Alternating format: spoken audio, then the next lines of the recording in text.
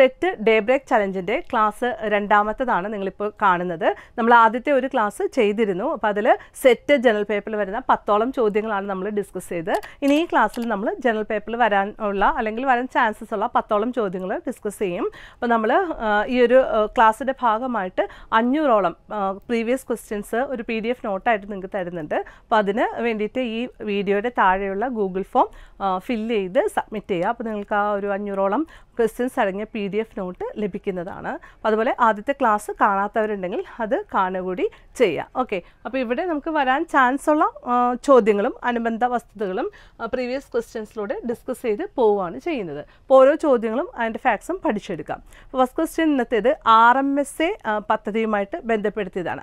R M S A എന്നാൽ രാഷ്ട്രീയ മാധ്യമിക ശിക്ഷാ അഭിയാൻ എന്ന ഒരു പദ്ധതിയാണ്. അത് ഹൈസ്കൂൾ ക്ലാസ്സസ് ഒക്കെ ഉണ്ടല്ലോ. എയ്റ്റ് നയൻ ടെൻ ആ ക്ലാസ്സുകളുടെയൊക്കെ ബോർഡുകളൊക്കെ നന്നാക്കുക ഇൻഫ്രാസ്ട്രക്ചർ നന്നാക്കുക കുട്ടികൾക്ക് മാത്സും ഇംഗ്ലീഷും ഒക്കെ നല്ല ഒരു രീതിയിൽ പഠിപ്പിച്ചു കൊടുക്കുക അങ്ങനെയുള്ള കുറേ കാര്യങ്ങൾ ഉൾപ്പെടുത്തിയിട്ടുള്ള ഒരു കാര്യമാണ് ആർ എം എസ് എ എന്ന് പറയുന്നത്. ടു തൗസൻഡ് നയനിൽ മൻമോഹൻ സിംഗ് പ്രധാനമന്ത്രിയായിരിക്കുന്ന സമയത്താണ് ആർ എം എസ് എ പദ്ധതി ലോഞ്ച് ചെയ്തത്. അതുപോലെ ടു തൗസൻഡ് നയനിൽ തന്നെയാണ് right to education act parliament പാസ്സാക്കുന്നതും enact ചെയ്യുന്നതൊക്കെ two thousand ten April first onwards ആണല്ലോ. അപ്പോൾ അത് ഒരു eleventh plan eleventh five year plan നടക്കുന്ന സമയത്താണ് ഈ ആർ എം എസ് എ ആണെങ്കിലും റൈറ്റ് ടു എഡ്യൂക്കേഷൻ ആക്ട് ആണെങ്കിലും ഒക്കെ വരുന്നത്. അതുകൊണ്ട് തന്നെ മൻമോഹൻ സിംഗ് പ്രധാനമന്ത്രിയായിട്ടിരുന്ന ആ ഒരു ലെവൻത്ത് പ്ലാനിനെ അദ്ദേഹം തന്നെ വിശേഷിപ്പിച്ചതാണ് എഡ്യൂക്കേഷൻ പ്ലാൻ ഓഫ് ഇന്ത്യ എന്നുള്ളത്. ഏതാണ്?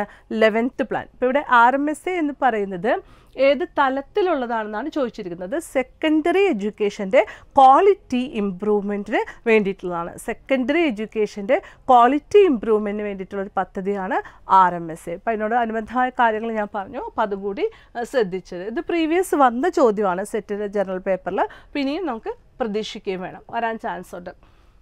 Okay answer is secondary education and quality improvement next question. Representation of other authors' knowledge, language, thoughts, ideas or expressions in one's own work. മറ്റൊരാളുടെ മറ്റൊരു ഓതറിന്റെ ഐഡിയാസും കാര്യങ്ങളൊക്കെ നമ്മളുടേതായ ഒരു വർക്കിൽ നമ്മൾ റിഫ്ലക്റ്റ് ചെയ്യിക്കുന്നുണ്ടെങ്കിൽ അതിനെ എന്ത് വിളിക്കുന്നു എന്നാണ് ചോദ്യം. ആൻസർ പറയുവാണ്. പ്ലാഗ്യാഡിസം ഓപ്ഷൻ സി കണ്ടോ? അതാണ് ആൻസർ ഇനി അവിടെ സ്പാമിംഗ് സൈബർ ബുള്ളിങ് ഹാക്കിംഗ് മുതലായവ കിടപ്പുണ്ട്. അപ്പോൾ ഹാക്കിംഗ് എന്താണെന്നുള്ളത് എല്ലാവർക്കും അറിയാം അല്ലേ? അതുപോലെ സ്പാമിങ്ങും സൈബർ ബുള്ളിയും കൂടി നമുക്ക് ബുള്ളിയും കൂടി പഠിപ്പിച്ചു വയ്ക്കാം അപ്പോൾ അത് എല്ലാവർക്കും കോമൺലി അറിയാവുന്നതാണ്. ബേസ് ആയിട്ട് കമ്പ്യൂട്ടർ ജി കെ അതായത് ഐ ടിയുടെ ഒരു ബേസിക് ജി കെ ആണ് നമ്മുടെ സെറ്റ് ജനറൽ പേപ്പറിൽ ചോദിക്കാറുള്ളത്. അപ്പോൾ ഇതിപ്പോൾ പ്ലാഗ്യാരിസം എന്നുള്ള കൺസെപ്റ്റ് ഈ ഒരു എക്സ്പ്ലനേഷൻ തന്നെ പഠിച്ചെടുക്കുക. അതായത് പ്ലാഗ്യാരിസത്തിന്റെ എക്സ്പ്ലനേഷനാണ് ഈ തന്നിരിക്കുന്നത്. ഒരു ഓതറിന്റെ ഐഡിയാസ് തോട്ട്സ് കാര്യങ്ങൾ ഒക്കെ ആ സ്റ്റൈൽ എല്ലാ കാര്യങ്ങളും നമ്മളുടേതായ ഒരു മറ്റൊരാളുടെ ഒരു വർക്കിൽ റിഫ്ലക്റ്റ് ചെയ്യിക്കുന്ന രീതി. അതിനെയാണ് എന്ത് വിളിക്കുക? പ്ലാഗ്യാരിസം എന്ന് പറയുന്നത്. പിന്നെ സ്പാമിംഗ് എന്ന് പറയുന്നത് കണ്ടിന്യൂസ് ആയിട്ട് ബൾക്കായിട്ട് ഇമെയിൽ അയക്കുക അല്ലെങ്കിൽ ബൾക്കായിട്ട് ടെക്സ്റ്റ് മെസ്സേജസ് ആണെങ്കിൽ അയക്കുക അങ്ങനെ ചെയ്യുന്ന ഒരു കാര്യത്തിനെയാണ് എന്ത് സ്പാമിംഗ് എന്ന് പറയുന്നത്. Unwanted unsolicited digital communication that get send out in bulk through ഇമെയിലാണ് മിക്കവാറും ചെയ്യുന്നത്. അതുപോലെ cyber bullying include sending posting or sharing negative harmful false or mean content about someone else മറ്റൊരാളെ കുറിച്ച് നമ്മൾ എന്തെങ്കിലും പ്രചരിപ്പിക്കുന്ന ഒരു കാര്യത്തിനാണ് സൈബർ ബുള്ളിങ് എന്ന് പറയാം. നമുക്ക് തേർഡ് ക്വസ്റ്റ്യനിലേക്ക് പോകാം language policy three language policy ഇല്ല. ത്രീ ലാംഗ്വേജ് ഫോർമുല വന്ന ഇയർ ആണ് ചോദിച്ചിരിക്കുന്നത്. അപ്പോൾ നമ്മളെപ്പോഴും ത്രീ ലാംഗ്വേജ് ഫോർമുല എന്നൊക്കെ പറയുമ്പോൾ മിക്കവാറും നമ്മൾ എഡ്യൂക്കേഷൻ പോളിസിയുമായിട്ടോ അല്ലെങ്കിൽ എഡ്യൂക്കേഷൻ കമ്മീഷൻസും ഒക്കെ ആയിട്ട് ബന്ധപ്പെടുത്തിയാണ് പഠിക്കാറുള്ളത്. അപ്പോൾ ത്രീ ലാംഗ്വേജ് ഫോർമുല ഒക്കെ നമ്മളോട് പറഞ്ഞിരിക്കുന്നത് മുതലിയാർ കമ്മീഷൻ ലാംഗ്വേജുമായിട്ട് ബന്ധപ്പെട്ട് സജഷൻസ് ഒക്കെ കൊടുത്തിട്ടുള്ള ഒരു കമ്മീഷനാണ് ഏതായാലും ആയിരത്തി തൊള്ളായിരത്തി അറുപത്തി എട്ടിലാണ് ഈ ത്രീ ലാംഗ്വേജ് ഫോർമുല നമ്മൾ ഇംപ്ലിമെന്റ് ചെയ്തിരിക്കുന്നത്. നയന്റീൻ സിക്സ്റ്റി എയ്റ്റ് ആണ് അതിന്റെ ആൻസർ എന്ന് പറയുന്നത്. ഓക്കെ അപ്പോൾ അതുപോലെ ഈ നയന്റീൻ എയ്റ്റി സിക്സ് എന്നുള്ള ഇയർ ഈ ഓപ്ഷനിൽ കിടപ്പുണ്ട്. അതൊന്ന് നോക്കിക്കേ. നയന്റീൻ എയ്റ്റി സിക്സ് എന്നുള്ള ഇയറിൽ രാജീവ് ഗാന്ധി നാഷണൽ എഡ്യൂക്കേഷൻ പോളിസിനെ പുതുക്കിയിട്ടുണ്ട്. അതായത് first national education policy nineteen sixty eight time പീരീഡിൽ ഇന്ദിരാഗാന്ധി ഇറക്കുന്നതാണല്ലോ. അത് കഴിഞ്ഞ് നയന്റീൻ എയ്റ്റി സിക്സിൽ രാജീവ് ഗാന്ധി തന്നെ അത് പുതുക്കി ഇറക്കിയായിരുന്നു. അതാണ് new national policy on education. അതിലാണ് ten plus two plus three pattern ഔദ്യോഗികമായിട്ട് നടപ്പിലാക്കിയത്. ഇപ്പോൾ കോത്താരി കമ്മീഷന്റെ ഒരു സജഷൻ പ്രകാരമാണ് Indira Gandhi first national policy education പ്രഖ്യാപിക്കുന്നത്. അപ്പോൾ അതിൽ ten plus two plus three pattern നടപ്പിലാക്കണം എന്നുള്ള ശുപാർശയും അതിനുള്ള ഇന്റൻഷൻസും ആണ് എഴുതിയിട്ടുള്ളൂ. പക്ഷേ ഒഫീഷ്യലി ഇന്ത്യയിൽ അത് നടപ്പിലാക്കിയത് new national policy on education ആണ് ബൈ രാജീവ് ഗാന്ധിയാണ് അതിപ്പം നയന്റീൻ എയ്റ്റി സിക്സിലാണ് അപ്പോൾ അങ്ങനെ ഒന്ന് കണക്ഷൻ കൊടുത്ത് ഇവിടെ പഠിക്കാം. എക്സ്ട്രാ പോയിന്റ്സ് നെക്സ്റ്റ് ജനറൽ പേപ്പറിൽ നമുക്ക് വരാൻ പാകത്തിന് അല്ലെങ്കിൽ കിട്ടാൻ പാകത്തിന്. അപ്പോൾ ത്രീ ലാംഗ്വേജ് പോളിസി അല്ലെങ്കിൽ ത്രീ ലാംഗ്വേജ് ഫോർമുല ഇവിടെ എസ്റ്റാബ്ലിഷ്ഡ് ആ ഇയർ എന്ന് പറയുന്നത് നയന്റീൻ സിക്സ്റ്റി എയ്റ്റ് ആകുന്നു. Okay next effectiveness of teaching has to be judged in terms of എങ്ങനെയായിരിക്കും? നമ്മൾ പഠിപ്പിച്ചതിന് ഒരു എഫക്റ്റീവ്നെസ് ഉണ്ടോ? എന്നെങ്ങനെയാണ് തിരിച്ചറിയുക ആരെങ്കിലും പറഞ്ഞിട്ടാണോ? അല്ല നമ്മൾ സ്വയം പറയുവാണോ? അതുമല്ല. എങ്ങനെയാണ്? കുട്ടികളിൽ ആ റിസൾട്ട് നമ്മൾ കാണണം. അപ്പോഴല്ലേ ടീച്ചിങ് എഫക്റ്റീവ് ആണെന്ന് പറയാൻ പറ്റുള്ളൂ. അല്ലേ? ഓപ്ഷൻസ് നോക്കൂ. കോഴ്സ് കവറേജ് മുഴുവൻ കോഴ്സ് നമ്മൾ കംപ്ലീറ്റ് ചെയ്ത് പഠിപ്പിക്കുക. സ്റ്റുഡൻസിന്റെ താല്പര്യങ്ങൾ learning outcomes of students use of teaching aids in the classroom എല്ലാവിധ എക്യുപ്മെന്റ്സ് ഉപയോഗിച്ച് പഠിപ്പിച്ചു. ഇതൊന്നുമല്ല അവിടെ എന്താണ്? Option C is the answer learning outcomes of students okay learning outcomes of സ്റ്റുഡൻസിലൂടെ മാത്രമാണ് എഫക്റ്റീവ്നെസ് ഓഫ് ടീച്ചിങ് കറക്റ്റായിട്ട് നമുക്ക് ഐഡന്റിഫൈ ചെയ്യാനായിട്ട് സാധിക്കുള്ളൂ അപ്പോൾ ഞാൻ ഈ ജി കെ സെറ്റ് ഡിസ്കസ് ചെയ്തതിൽ ടീച്ചിങ് ആപ്റ്റിറ്റ്യൂഡിൽ നിന്ന് സൈക്കോളജിയിൽ നിന്നൊക്കെ വളരെ കുറച്ച് ചോദ്യം എടുത്തിട്ടുള്ളൂ. ജി കെ റിലേറ്റഡ് ആയിട്ടുള്ള ചോദ്യങ്ങളാണ് നമ്മൾ കൂടുതൽ ഡിസ്കസ് ചെയ്തു പോകുന്നത്. അപ്പോൾ ഒരു കറക്റ്റ് ആൻസറിലൂടെയും നമുക്ക് അടുത്ത ഒരു സെറ്റിന് ഒന്നും കൂടി നന്നായി പ്രിപ്പയർ ചെയ്യാനും എളുപ്പമാകാൻ വേണ്ടിയിട്ടാണ് ഞാൻ അങ്ങനെ ജി കെ ക്വസ്റ്റ്യൻസ് തന്നെ സെലക്ട് ചെയ്തിരിക്കുന്നത്. സൈക്കോളജിയും ടീച്ചിങ് ആപ്റ്റിറ്റ്യൂഡും നമ്മൾ പ്രത്യേകം പഠിച്ചെടുക്കുന്ന കാര്യങ്ങളാണല്ലോ. അതിൽ ഇത് എല്ലാവർക്കും അറിയാൻ പറ്റും. Name the components borrowed from the British constitution for framing the constitution of India അത് നമ്മൾ പല രാജ്യങ്ങളിൽ നിന്നും പല ആശയങ്ങൾ കടമെടുത്തിട്ടാണ് ഈ കോൺസ്റ്റിറ്റ്യൂഷൻ ഫോർമുലേറ്റ് ചെയ്തത് കേട്ടോ. അപ്പോൾ അതൊരു ക്വസ്റ്റ്യൻ ആണ്. ഇന്ന ഇന്ന ആശയങ്ങൾ ഏതൊക്കെ രാജ്യത്തിൽ നിന്ന് കടമെടുത്തു എന്നുള്ള ചോദ്യം. അപ്പോൾ അതിൽ നിന്ന് നമുക്ക് ഏതൊരു എക്സാമിന് പോയാലും നമ്മൾ പഠിച്ചെടുക്കേണ്ട ഒരു പോയിന്റാണത് അപ്പോൾ ഇവിടെ ചോദിച്ചിരിക്കുന്നത് എന്താണ്? ബ്രിട്ടീഷ് കോൺസ്റ്റിറ്റ്യൂഷനിൽ നിന്ന് നമ്മൾ ബോറോ ചെയ്തേക്കുന്ന ഐഡിയ ഈ താഴെ തന്നിരിക്കുന്നതിൽ ഏതാന്നൊക്കെയാണ് ചോദിച്ചിരിക്കുന്നത്?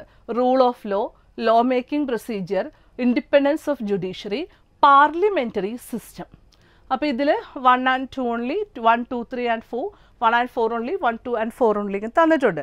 അപ്പോൾ ഇതിൽ നമുക്കറിയാം ഇപ്പോൾ റൂൾ ഓഫ് ലോ നിയമവാഴ്ച. ഡിസി എന്ന് പറയുന്ന ഒരാളുടെ ഒരു കോൺട്രിബ്യൂഷനാണ് അദ്ദേഹം ഇംഗ്ലണ്ടുകാരനാണ്. അപ്പോൾ തന്നെ അറിയാം അത് ബ്രിട്ടീഷ് ഇതിൽ നമ്മൾ എടുത്തിരിക്കുന്നതാണ്. പിന്നെ ലോ മേക്കിംഗ് പ്രൊസീജിയർ അതുപോലെ പാർലമെന്ററി സിസ്റ്റം നമ്മുടെ ഈ പാർലമെന്ററി രീതി ഇവിടുത്തെ പാർലമെന്റ് ഇലക്ഷൻ നടത്തി പാർലമെന്ററി സിസ്റ്റത്തിലൂടെ രാജ്യസഭ ലോക്സഭ അങ്ങനെ ബൈ ക്യാമറ ലെജിസ്ലേച്ചറിൽ നമ്മൾ പോകുന്ന ആ ഒരു സിസ്റ്റം അത് നമ്മൾ എടുത്തിരിക്കുന്നത് എവിടുന്നാണ്? ബ്രിട്ടന്റെ ഒരു കാര്യം നമ്മൾ ബ്രിട്ടീഷ് കോളനി ആയിരുന്നു. അതുകൊണ്ട് തന്നെ ബ്രിട്ടീഷ് കോൺസ്റ്റിറ്റ്യൂഷന്റെ അവരുടെ രീതികൾ ഒരുപാട് ഇന്ത്യൻ കോൺസ്റ്റിറ്റ്യൂഷനെ സ്വാധീനിച്ചിട്ടുണ്ട്. പിന്നെ ഇൻഡിപെൻഡൻസ് ഓഫ് ജുഡീഷ്യറി എന്ന് പറയുന്നത് അവിടെ എന്താണ്? നമ്മളുടെ അമേരിക്ക ഉണ്ടല്ലോ യു എസ് എ അവരുടെ കോൺസ്റ്റിറ്റ്യൂഷന്റെ ഭാഗമായിട്ട് നമ്മൾ കടമെടുത്തൊന്നാണ് ഇൻഡിപെൻഡൻസ് ഓഫ് ജുഡീഷ്യറി എന്നത്. അപ്പോൾ ആൻസർ ഏത് വരും നോക്കിക്കേ. അതിൽ ആ ഒരു three ഒഴിവാക്കിയെടുക്കുക. One two and four only പിന്നെ അതുപോലെ നമ്മൾ ഫണ്ടമെന്റൽ റൈറ്റ്സ് ഭയങ്കര ഇമ്പോർട്ടന്റ് ആയിട്ട് എപ്പോഴും എല്ലാ എക്സാമിന് വേണ്ടി പഠിക്കുന്ന ഒരു ടോപ്പിക് അല്ലേ? അതിൽ ഫണ്ടമെന്റൽ റൈറ്റ്സ് എന്ന് പറയുന്നത് നമ്മൾ അമേരിക്കയിൽ നിന്ന് യു എസ് എയിൽ നിന്ന് കടമെടുത്തിരിക്കുന്ന ഒരു ആശയമാണ്. അതേസമയം ഈ ഫണ്ടമെന്റൽ റൈറ്റ്സ് വയലേറ്റ് ചെയ്യപ്പെട്ടാൽ റെസ്റ്റോർ ചെയ്ത് കിട്ടാൻ വേണ്ടിയിട്ടുള്ള റിട്ടുകൾ എന്നുള്ള പ്രൊവിഷനിലെ ആ റിട്ടുകൾ നമ്മൾ ബ്രിട്ടന്റെ കോൺസ്റ്റിറ്റ്യൂഷനിൽ നിന്ന് അഡോപ്റ്റ് ചെയ്തിട്ടുള്ളൊരു കാര്യമാണ്. Fundamental rights judicial review independence of judiciary functions of president and vice president അതുപോലെ ഇംപീച്ച്മെന്റ് ഓഫ് പ്രസിഡന്റ് ഇത്തരം കാര്യങ്ങൾ നമ്മൾ എവിടെ നിന്ന് എടുത്തിട്ടുള്ളതാ? അമേരിക്കൻ കോൺസ്റ്റിറ്റ്യൂഷനിൽ നിന്ന് എടുത്തിട്ടുള്ളതാണ് കടമെടുത്തിട്ടുള്ളതാണ് അപ്പോൾ ഇതുപോലെ തന്നെ കുറേ അധികം കാര്യങ്ങൾ നമ്മൾ ഓരോ രാജ്യങ്ങളിൽ നിന്ന് ഇപ്പോൾ എമർജൻസി പ്രൊവിഷൻ ജർമ്മനിയിൽ നിന്ന് കടമെടുത്താണ്. അത് അതുപോലെ ഓരോ പോയിന്റുകളും നമ്മൾ വ്യത്യസ്തമായ രാജ്യങ്ങളിൽ നിന്ന് കടമെടുത്തിട്ടുണ്ട്. അത് പ്രത്യേകം നമ്മൾ പഠിച്ചെടുക്കുന്നുണ്ട്. ഇപ്പോൾ തൽക്കാലം ബ്രിട്ടനിൽ നിന്നും അമേരിക്കയിൽ നിന്നും നമ്മൾ കോൺസ്റ്റിറ്റ്യൂഷന്റെ ഭാഗമായിട്ട് കടമെടുത്ത ആശയങ്ങൾ പഠിക്കുക ഈ ഒരു ക്വസ്റ്റ്യനിലൂടെ analyse the following statements related to Indus valley civilisation and choose the correct one അപ്പോൾ ഇത് ഹിസ്റ്ററിയിൽ നിന്നുള്ളൊരു ക്വസ്റ്റ്യൻ ആണ്. അപ്പോൾ ഇൻഡസ് വാലി സിവിലൈസേഷൻ നമ്മളെ സംബന്ധിച്ച് ഇന്ത്യൻ ബേസ് ആയിട്ടുള്ളൊരു കാര്യമായതുകൊണ്ട് നമ്മളത് എല്ലാ എക്സാമിനും ഉണ്ട് പഠിക്കണം. അതുപോലെ നമ്മുടെ ആ ഒരു ജി കെ പോർഷനിൽ മിക്കവാറും എല്ലാ എക്സാംസിനും വരുന്നൊരു ചോദ്യമാണ്. അപ്പോൾ ഇവിടെ തന്നിരിക്കുന്ന ചോദ്യങ്ങൾ ഹാരപ്പയും മോഹൻജദാരും നമ്മുടെ ഇൻഡസ് റിവറിന്റെ തീരത്തായിരുന്നു. അതുപോലെ ചന്നുദാരോ കാലിബംഗൻ അത് രാജസ്ഥാന്റെ ബൗണ്ടറിയിലായിരുന്നു അതുപോലെ സുർക്കറ്റോട ധോളാവീര റാൻ ഓഫ് കച്ച് ഉണ്ടല്ലോ ഗുജറാത്തിലെ. ആ ഭാഗത്തായിരുന്നു ലോത്തൽ നർമ്മദയുടെ നദീതീരത്തായിരുന്നു. ഇതൊക്കെയാണ് പോയിന്റ്സ് തന്നിരിക്കുന്നത്. ശരിക്കും ഇതിൽ നന്നായിട്ട് സിവിലൈസേഷൻ വായിച്ചിട്ടുണ്ടെങ്കിൽ നമുക്ക് ആൻസർ കിട്ടും. ഹാരപ്പെ മോഹൻജദാരും ഇൻഡസ് റിവറിന്റെ അങ്ങ് തീരത്തു നിന്നൊന്നും നമുക്ക് പറയാൻ പറ്റത്തില്ല. അതുപോലെ ഈ ഒരു ഓപ്ഷൻ സി ഉണ്ട്. അപ്പോൾ ലോത്തൽ അതുപോലെ നർമ്മദയുടെ തീരത്തു നിന്നൊന്നും പറയാൻ പറ്റത്തില്ല. ലോത്തലൊക്കെ ഒരു തുറമുഖം പോലത്തെ സ്ഥലമാണ്. അപ്പോൾ സുർക്കറ്റോടെയും ധോളാവീരയും ഇത് രണ്ടും റാൻ ഓഫ് കച്ചിന്റെ ഭാഗമായിട്ട് ഗുജറാത്തിന്റെ അവിടെയുള്ള സ്ഥലങ്ങളാണ്. അപ്പോൾ ഇതാണ് ഓപ്ഷൻ സി ആണ് ഈ ഒരു ക്വസ്റ്റ്യന്റെ ആൻസർ എന്ന് പറയുന്നത്. ഓക്കെ. പിന്നെ വേണമെങ്കിൽ ഇവിടുന്ന് വരാവുന്ന ചോദ്യങ്ങൾ ഇതിന്റെ ഓരോ സ്ഥലങ്ങളുടെയൊക്കെ മീനിങ് അല്ലെങ്കിൽ രൂപ്പാറ് എന്ന ഹാരപ്പൻ സൈറ്റ് എവിടെയാണ്? അല്ലെങ്കിൽ ഇൻഡസ് വാലി സിവിലൈസേഷൻ സൈറ്റ് എവിടെയാണ്? ലോകത്തിൽ എവിടെയാണ്? ഹാരപ്പെ മോഹൻജദാർ എവിടെയാണ് ലൊക്കേറ്റഡ് ആയിട്ടുള്ളത്? അങ്ങനെയുള്ള ക്വസ്റ്റ്യൻസ് ആണ് നമുക്ക് അവിടെ നിന്ന് പ്രതീക്ഷിക്കാവുന്നത്. പിന്നെ കാലിബംഗൻ കറുത്തവളകൾ എന്നുള്ള പഠിച്ച് നമ്മൾ ടെൻത്ത് ലെവലിൽ നമ്മൾ പഠിച്ചെടുക്കുന്ന അല്ലെങ്കിൽ അതിന് മുൻപേ എയ്ത്ത് സ്റ്റാൻഡേർഡ് ആ ടൈം പീരീഡിലൊക്കെ നമ്മൾ പഠിച്ചെടുക്കുന്ന കാര്യങ്ങളാണ് അപ്പോൾ ചിലപ്പോൾ meanings of the name of the places ആയിരിക്കും ചോദിക്കാം അല്ലെങ്കിൽ ഇതിൽ ഏതാണ് ഒരു ഹാർപ്പൻ സൈറ്റ് അല്ലെങ്കിൽ സിവിലൈസേഷൻ സൈറ്റ് ഐഡന്റിഫൈ ചെയ്യാൻ ചോദിക്കാം. അല്ലെങ്കിൽ ഇതുപോലെ ഏതൊക്കെ നദീതീരത്താണ് ഇത് ഉണ്ടായിരുന്നത് എന്ന് ചോദിക്കാം. ഈ ഹാരപ്പ എന്നൊക്കെ പറയുമ്പോൾ ഖഗർ റിവറൊക്കെ ആയിട്ട് ബന്ധപ്പെട്ട് കിടക്കുന്ന സ്ഥലങ്ങളാണ്. Then name the rights which are available to foreigners living in India അപ്പോൾ ഇന്ത്യയിൽ താമസിക്കുന്ന വിദേശികൾ ഇന്ത്യയിൽ വന്ന വിദേശികൾക്ക് കിട്ടുന്ന അവകാശങ്ങൾ ഇതൊക്കെ ഫണ്ടമെന്റൽ റൈറ്റ്സ് ആറെണ്ണം ഉണ്ട് എന്ന് നമുക്കറിയാം. അപ്പോൾ അതിൽ എല്ലാം തന്നെ ആർക്ക് കിട്ടില്ല? ഫോറിനേഴ്സിന് കിട്ടില്ല. Equality before law right to education freedom of speech freedom of movement അപ്പോൾ അഭിപ്രായ സ്വാതന്ത്ര്യം അതുപോലെ ഇന്ത്യയിൽ എവിടെയെങ്കിലും ഞങ്ങൾ സഞ്ചരിക്കാനുള്ള സ്വാതന്ത്ര്യം അത് രണ്ടും എന്തായാലും ഫോറിനേഴ്സിന് നമ്മൾ കൊടുക്കില്ല അല്ലേ? അപ്പോൾ ഇക്വാലിറ്റി ബിഫോർ ലോ നിയമത്തിന് മുമ്പിൽ അവർ തുല്യരാ അതുപോലെ റൈറ്റ് ടു എഡ്യൂക്കേഷൻ ഇത് രണ്ടും എന്തായാലും ഇതിന്റെ ആൻസർ ആണ് കേട്ടോ. One and two only equality before ലോയും right to എഡ്യൂക്കേഷനും ഇത് രണ്ടും നമ്മൾ ഇവിടെയുള്ള ഇവിടെ വരുന്ന ഫോറിനേഴ്സിന് കൊടുക്കുന്ന അവകാശങ്ങൾ ആണ്.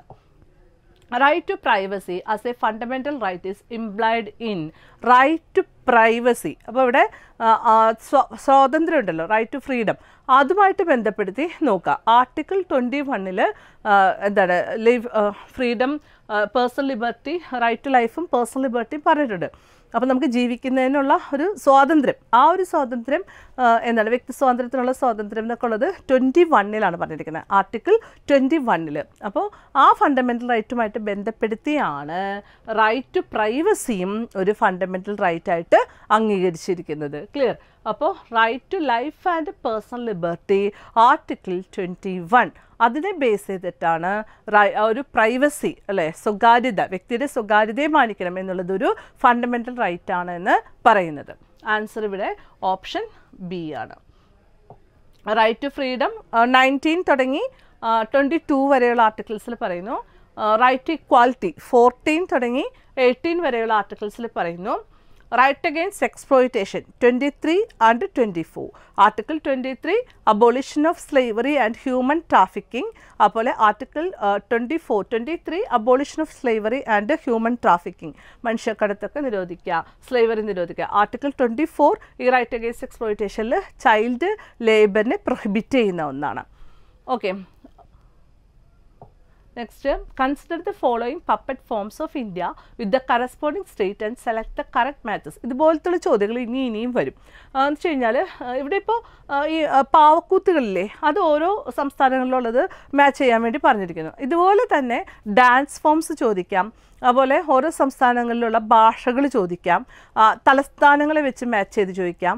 അങ്ങനെ എയർപോർട്ട്സ് അല്ലെങ്കിൽ അല്ലെ പോർട്ട്സ് അതൊക്കെ അങ്ങനെ മാച്ച് ചെയ്ത് അതുപോലെ ഓരോ സംസ്ഥാനങ്ങളിൽ നിലനിൽക്കുന്ന വന്യമൃഗ സങ്കേതങ്ങളുണ്ടല്ലോ.